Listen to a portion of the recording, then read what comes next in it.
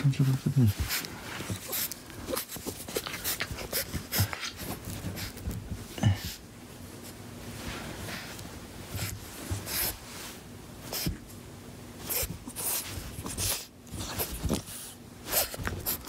Oh, God.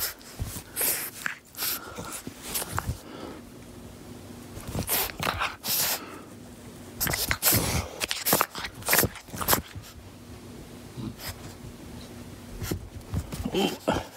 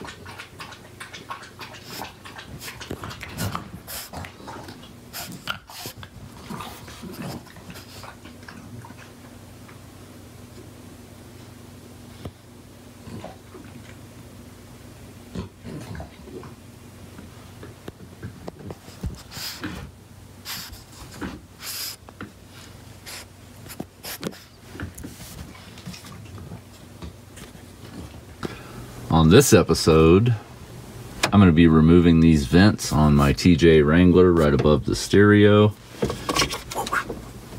and turning it into a switch panel. I don't personally use the vents on that section anyway, ever, and I may end up with an iPad for uh, off-road navigation, GPS, etc. mounted right above that anyway. Um, but yeah, I'm gonna cut that out, mount a piece of aluminum, and then uh, fill it up with switches. So as you can see, I popped the vents out, then I cut the support cage out with a regular old cutting wheel. Now I can use some cardboard, make a template for the aluminum piece that will get riveted or screwed in, haven't decided yet. And that'll hold all my switches. Got me a little cardboard aided drafting, CAD cereal box aided draft. I don't know. Anyway, got that to where that'll fit over that. I'm probably gonna rivet it to it because that comes out pretty easy. And then I can just pop that off if I ever need to get to the back of it. That way I don't gotta deal with screws and fittings and stuff like that. So now I gotta find some aluminum to cut this out of. Couldn't find any aluminium uh, thin enough and uh, big enough to be bendable over the top here. So uh, kind of thin piece of steel. I'll just paint it when I'm done. Uh, so this should work. Went ahead and got the holes drilled so I can rivet it to the center console. Marked out all my switch positions so that I can go ahead and pre-drill those and I don't have to be fussing with it while it's attached to the center console. I'll do basic hole size for the switches down here on the auxiliaries so I can add more switches later or I'll just throw some switches in there and have them ready to go just no wires connected to them. Onboard air winch in and out fog lights starter button main power to everything and a little wolf whistle. For the in and out I'm gonna go with a center off instead of a momentary like comes with the uh, remote here. You can internally wire this box running up to the dash.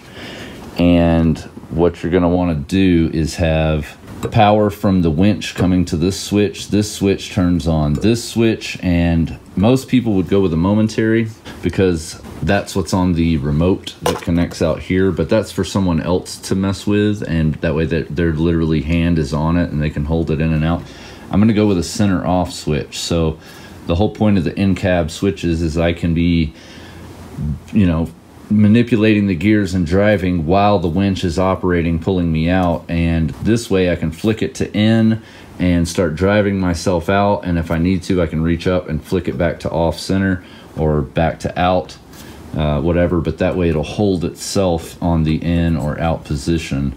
And uh, that way I don't have to physically hold the switch on the dash while I'm trying to drive out of the hole. So I'm gonna drill these holes out, get it painted, put the switches in, rivet it to the dash, and then put it back together. Holes drilled, a little paint, we'll rivet it to the dash, and uh, yeah. So, not too bad. I need to get some more switches. Pretty sure I have more. Got the little wolf whistle switch, main switch, start switch, winch switch, winch in and out, and onboard air. Then I'm gonna get some more switches for LEDs and whatnot. So, uh, not too bad. Riveted on takes over the vents. Next time we'll uh, wire them up. I'll show you how to do a push button start on a Jeep. And uh, yeah. Thanks for watching. Like if you like, subscribe if you want to see more. And as always, keep on modding.